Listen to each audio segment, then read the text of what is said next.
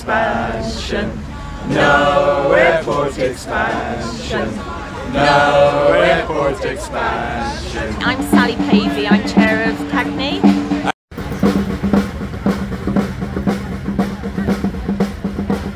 The open hearings of the new runway application by Gatwick Airport, where the government planning officials will look at the evidence to see if they grant a new runway to be built at Gatwick Airport. Yes, and you've got a great turnout here from yourselves, CAGNE, and um, Extinction Rebellion. How pleased are you with the turnout of the protest? It's, it's wonderful to see so many people feel so passionately about that this is the wrong development for this area, for the whole of the South East. Yeah, and why is it so wrong for the area, do you think? At the moment we face some really unsustainable areas. We've got people fighting housing, we've got people protesting at everything. The lack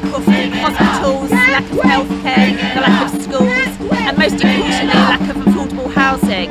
Where are all these 14,000 workers going to live and how are they going to get there? They're going to come by road. It's just not sustainable. This makes Gatwick, if this is granted, this will make Gatwick as big as Heathrow is today.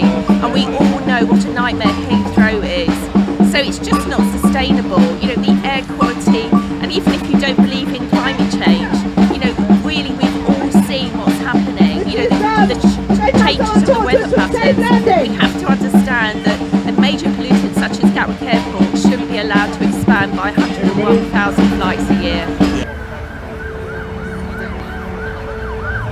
Really lucky that through crowdfunding and very generous residents we've been able to afford a team of experts and so we will be here every day voicing the concerns of residents of Sussex, Surrey and Kent as well as what it will do to the planet.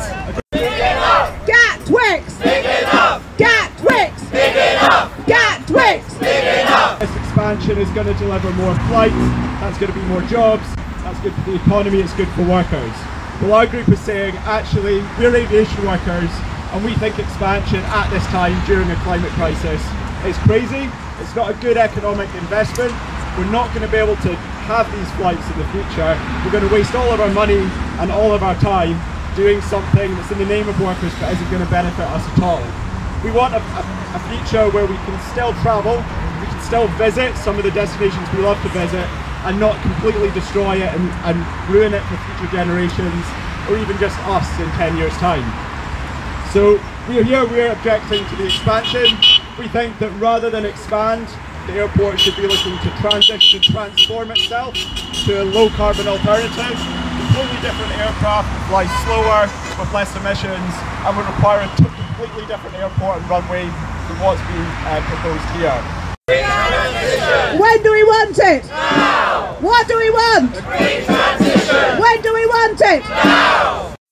Thank you all for coming this morning. I think this is a really important day to show on the first day of this six month planning inquiry that this is not the way we need to go. This is not the future for Gatwick. What Gatwick want to do is to make this airport as big as Heathrow Airport with 80 million passengers a year. Heathrow is the largest single climate emitter in the UK. Gatwick say they can be the largest single climate emitter in the UK, but yet their planning application says that their climate impact is insignificant. That is not the case. As you all know, that is greenwash at the highest order.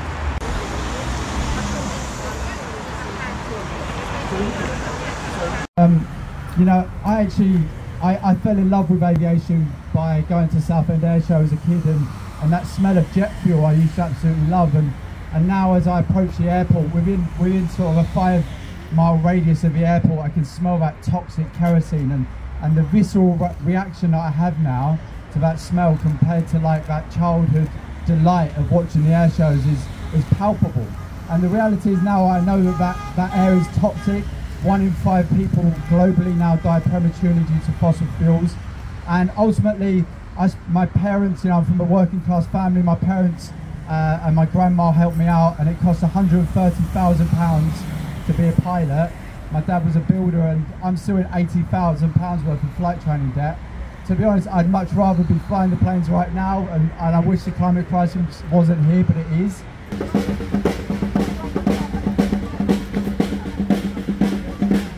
And as aviation workers, we're trained to think free from bias, to mitigate risk, to preserve life. So we, you know, I, I urge anyone who's watching this, if you're an aviation worker, then to please come and, and check out Safe Landing. Ultimately, we believe that if we continue to expand aviation, then we're going to see a much bigger crash to the job market than what we witnessed during the pandemic. Uh, it's either coming through climate breakdown or it's going to be enforced regulations once the science uh, catches up with the politics or the politics catch up with the science. Big enough! Twix! Cat! can't be sustained within this area. It's not just the pollution and everything else. So that's the first thing is that with, it's going to take 10, 15 years to recover from what this government's done to local government, to all sorts of other needs that need to be put in place. And so the ability to actually put the infrastructure in place just won't be there. The developers will put the second runway in and run away and leave us with the mess. And secondly, I'm so heartened to hear so many people who work at Gatwick are dependent on it, as the whole of Crawley is in many respects. Although we realised after COVID we need to diversify and not put all our eggs in that one basket up the road, nevertheless it's heartening to hear so many people who work at Gatwick and want it to survive and thrive to realise that like so many projects, developers make their profit and run away, they've overexpanded the capacity of whatever it was they provided, then it collapses and the whole thing goes to pot. So I'm really heartened to hear the Brady people here who work at and dependent on it realise we're better off where we are now and not having that expansion.